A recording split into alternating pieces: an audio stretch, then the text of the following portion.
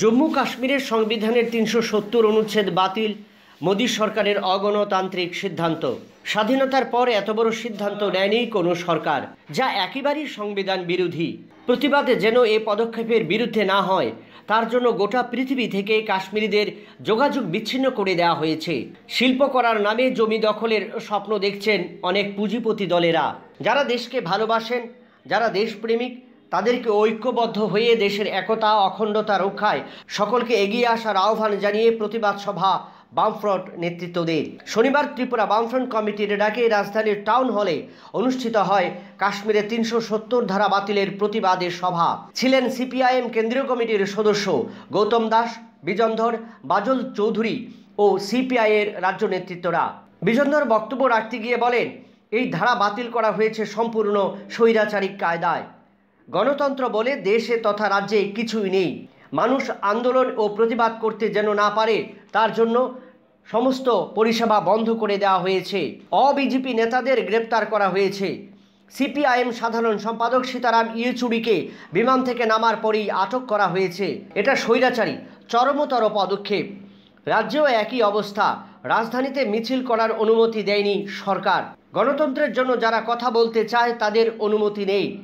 BJP দল রাজ্যে তিনশো সত্তর ধারা বাতিলের পরই মিষ্টি মুখ ও মিছিল করতে আনন্দে মেতে উঠেছিল। তাদের জন্য পারমিশন দেওয়া হয়েছিল। স্বৈরাচারী ব্যবস্থার চরমতম চরমতম পদক্ষেপ। আমরা এর বিরোধিতা করি। কথা বলার অধিকার থাকবে না। ওখানে তো নেই, এমনকি আমাদের এখানে। আজকে আমাদের প্রতিবাদ মিছিল করার কথা। প্রতিবাদ মিছিল করে আমরা সমাবেশ করব। এই ছিল আমাদের চিন্তা। পারমিশন চেয়েছিলাম। রাজ্য সরকার পারমিশন দিলেন না। কারণ কি? কারণ বললেন না কিছু। তিনশো সত্তর ধারা লাগু করার পরে যারা বাজি ফোটালেন, মিছিল করলেন বিজেপি, তাদের অনুমতি দেওয়া হলো, যারা গণতন্ত্র হত্যা করল, তাদের উৎসাহিত করা হলো সরকার থেকে অনুমতি দিয়ে। আর যারা গণতন্ত্রের পক্ষে, একটা ঐতিহাসিক ধারার পক্ষে কথা বলতে চায়, যেটা ঠিক হয়নি, ভুল হয়েছে, অন্যায় হয়েছে, অবৈধ হয়েছে, তাদের জন্য রাজ্যে মিছিল করবার অধিকার, সমাবেশ করবার অধিকার দেওয়া হবে না, অনুমতি দেওয়া হবে না। এইরকম এক গোয়েমি একটা ব্যবস্থার মধ্যে গোটা দেশ আছে, আমরা আমাদের রাজ্যে রয়েছি। যারা ভারতের পক্ষে থাকার জন্য লড়াই করেছিলেন, ওখানকার প্রধানমন্ত্রী পরে অন্য মুখ্যমন্ত্রী হয়, মুখ্যমন্ত্রী আমাদের শেখ আবদুল্লাহ। তাকে কদিন পরে পরে গ্রেপ্তার করা হয়েছে। বছরের পর বছর ধরে জেলখানায় আটক রাখা হয়েছে। কেন্দ্রীয় সরকারের পার্লামেন্টের আইন, যেই আইন ওখানকার বিধানসভায় পাশ না করলে পরে ওখানে কার্যকর হবে না, এটাই ছিল তিনশো সত্তর নম্বর ধরো ইম্পর্টেন্ট ফ্যাক্টর বহু আইন। একাধিকবার তিনশো ছাপ্পান্ন ধারা প্রয়োগ করা করা হয়েছে। সরকার বাদ দেওয়া, বাতিল করা হয়েছে। অধিকার ছিনিয়ে নেওয়া হয়েছে। কংগ্রেস দল চেষ্টা করেছে ন্যাশনাল কনফারেন্সকে ভাঙবার জন্য। তেরো জন বিধায়ককে নিয়ে এক সময় ফারুক আবদুল্লাহকে বিপদে ফেলেছিল। এরকম অনেক ঘটনা ঘটেছে, রাজ্যপাল, হিন্দুত্ববাদী রাজ্যপাল, তখনও তো বিজেপি স্ট্রং ছিল না।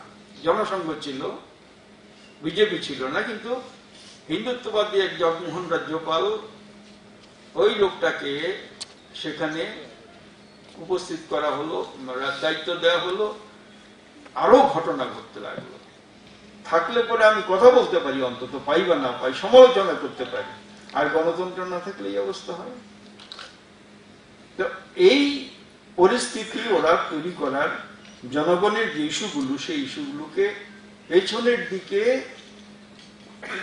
ঠেলে দেবার ওরা চেষ্টা চালাচ্ছে। এই ঘটনা এখানে লক্ষ্য করা যাচ্ছে। গৌতম দাস বক্তব্য রাখতে গিয়ে বলেন, দেশের সরকারের বিভিন্ন দিক তুলে ধরেন। জনগণ জনগণের সঙ্গে সম্পর্ক রাখাই হচ্ছে উন্নয়নের সম্পর্ক। কিন্তু তিনশো সত্তর ধারা বাতিলের ফলে যেমন চরম উত্তেজনা ও বাণিজ্যিক দিক দিয়ে প্রভাব পড়বে দেশে। দেশের সরকার মার্কিন সাম্রাজ্যবাদের ও পুঁজিপতিদের সাহায্যে কাজ করছে। আর এইদিকে গ্রামীণ শিল্প শ্রমিক ছাঁটাই হচ্ছে। আর অন্যদিকে গ্রামীণ শিল্প এবং শ্রমিক ছাঁটাই হচ্ছে। দেশের হাল একেবারেই বেহাল। নোটবন্দি জিএসটির ফলে লক্ষ লক্ষ মানুষ কাজ হারিয়েছেন।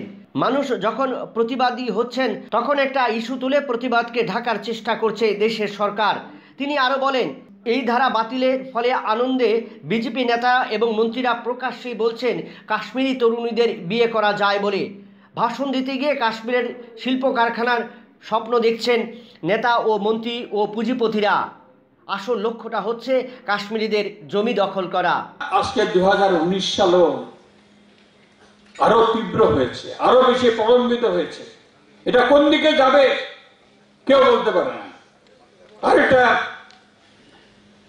বিশ্বযুদ্ধের দিকেও যেতে- পারে সেই আশঙ্কা রয়েছে। এবং ভারতবর্ষের কথা ক বছরের মধ্যে যা হয়েছে, যেটা কিছু কিছু এখানে উল্লেখ করা হয়েছে, যে গাড়ি শিল্পের মধ্যে লক্ষ লক্ষ আজকে শ্রমিক ছাটাই ছাঁটাই হওয়ার মুখে বা গাড়ি বিক্রয় কমে গেছে। অনুসারী শিল্পগুলো সমস্ত মার খাচ্ছে। তেমনি দেশের যা হাল করেছে, নোটবন্দি দেশের অর্থনীতি বিপর্যস্ত হয়েছে, কোটি কোটি মানুষ কাজ হারিয়েছেন জিএসটি লক্ষ লক্ষ মানুষ কাজ হারিয়েছেন এবং এখন যে আমাদের যে শ্রমজীবী মানুষের রক্তে ঘামে যে রাষ্ট্রায়ত্ত সংস্থাগুলো গড়ে উঠেছিল, সেগুলোকে সমস্ত একটার পর একটা বিক্রি করে দিচ্ছে। রিজার্ভ ব্যাংকের যে রিজার্ভ ফান্ড, সেটাকে পর্যন্ত টান দিচ্ছে। তো এই অবস্থা করেছে। আজকে যখন মানুষ প্রতিবাদী হচ্ছেন, তখন এটাকে ঘুরিয়ে দেওয়ার জন্য এই আর একটা এই ধরনের পদক্ষেপ নিয়েছে। এ কারণে আজকে আমাদের প্রতিবাদী হতে হবে আমরা প্রকাশ্য প্রতিবাদ করতে সবাই চেয়েছিলেন সেটা অনুমতি দেয়নি। ভারতবর্ষের অন্যান্য জায়গাতেই হয়েছে। পরশুদিন রাতে ভারপ্রাপ্ত বিজেপির সঙ্গে আমি বললাম যে, বিজেপিকে আপনারা পারমিশন দিলেন, আমাদের দিলেন না। এরকম আমাদের এখানে গণতন্ত্র নেই। আজকে হলে প্রতিবাদ সভা করতে হচ্ছে। এই একটা প্রতিবাদ সভার মধ্যে দিয়ে শেষ হবে না, কারণ ঘটনার গতি প্রকৃতির প্রতি নজর রাখবেন যে কোন দিকে গড়াচ্ছে। কীরকম নানা ধরনের ইয়ে দেখা যাচ্ছে সেখানে। এক বিজেপি নেতা বলে দিচ্ছে যে, এখন কাশ্মীরের তরুণীরা তাদেরকে বিয়ে করা যাবে। আরে, কি ধরনের লোলুপ দৃষ্টি তাদের মেয়েদের প্রতি, মুসলিম মেয়েদের প্রতি? পরশুদিন এখানে এক ফিকি বণিক সভার মিটিং হয়েছে। অর্থমন্ত্রী মিটিং করেছেন এখন কাশ্মীরে যাওয়ার সুযোগ। সেখানে শিল্প শিল্প এখানে করবে, এখানে শিল্প, সমস্ত শিল্প অচল হয়ে যাচ্ছে। জমি দখল, যেটা বিজন দর বারবার বলেছেন। যে জমি দখল, সেটাই হচ্ছে লক্ষ্য, নানা ধরনের লক্ষ্য নিয়ে হচ্ছে। এবং এটা যদি এখানে ইয়ে হয়, তাহলে পর অন্য রাজ্যগুলোর মধ্যে হবে। নাগাল্যান্ডেও সেখানে ঢুকে যেতে পারবে পুঁজির মালিকরা। জম্মু কাশ্মীরে পারবে। আমাদের এখানে এডিসিতে যে রক্ষা কবচ আছে, সে রক্ষা কবচও থাকবে না। সুতরাং এর প্রতিক্রিয়া নানা দিক থেকে হবে। তো সুতরাং সেখানে আজকে কমিউনিস্টদের, বামপন্থীদের এবং যারা দেশকে ভালোবাসেন, এই দেশপ্রেমিকদের আজকে ঐক্যবদ্ধ হওয়া। মানুষকে সচেতন করা এবং আমাদের দেশের একতা, অখণ্ডতা রক্ষার পাশাপাশি আমাদের যে ধর্মনিরপেক্ষতার ঐতিহ্য, সাম্প্রদায়িক সম্প্রীতির যে ঐতিহ্য, যেটা এরা ভেঙে খান খান করতে চাইছে, তার বিরুদ্ধে আমাদের বুক চিতিয়ে লড়াই করে আমাদের একতা সংহতি রক্ষা করে, এই যে তাদের হটকারী সিদ্ধান্ত, এর বিরুদ্ধে আমাদের লড়াই করে যেতে হবে, এই শপথ আমরা এই সভা থেকে নেব। এই আহ্বান জানিয়ে রাজধানী টাউন হলে তিনশো সত্তর অনুচ্ছেদ বাতিলের প্রতিবাদ সভায় জাতি উপজাতি অংশের নারী পুরুষদের উপস্থিতি ছিল লক্ষণীয়। আগামী দিনে এই প্রতিবাদ সভা আরও হবে। মানুষকে ঐক্যবদ্ধ হয়ে স্বৈরাচারী অগণতান্ত্রিক পদক্ষেপের বিরুদ্ধে লড়াই সংগ্রামে সামিল হবার আহ্বান জানিয়েছেন সিপিআইএম নেতৃত্বরা। Bureau report, Akash Tripura.